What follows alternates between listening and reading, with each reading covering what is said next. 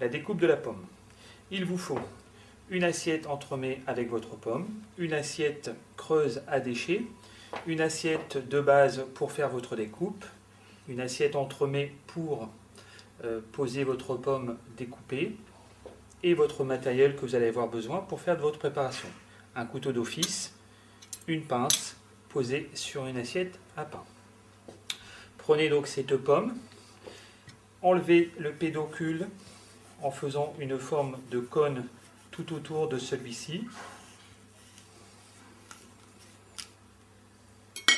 Retirez-le par la queue et conservez-le pour la fin de la préparation. Retournez votre pomme, incisez l'arrière de votre pomme en y faisant aussi un cône. Sans oublier d'inciser la base pour avoir une bonne assise. Au fur et à mesure de votre préparation, pensez à enlever vos déchets à l'aide de votre pince. Piquez le haut de votre pomme et commencez à enlever la peau.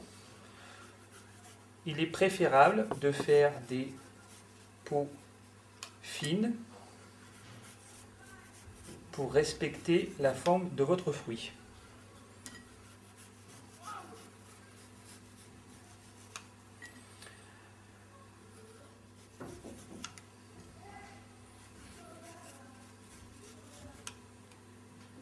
Ensuite, incisez votre pomme en deux en utilisant votre fourchette comme appui.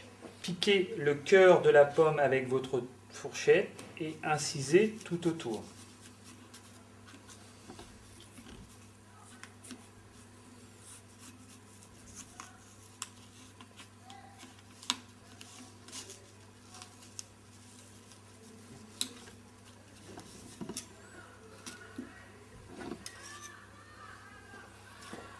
Faites la même opération dans votre deuxième morceau de pomme.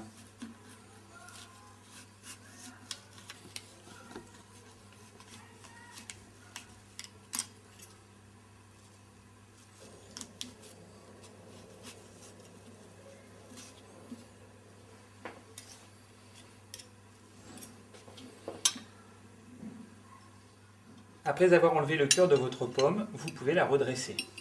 Pour cela, relevez les moitiés, collez-les.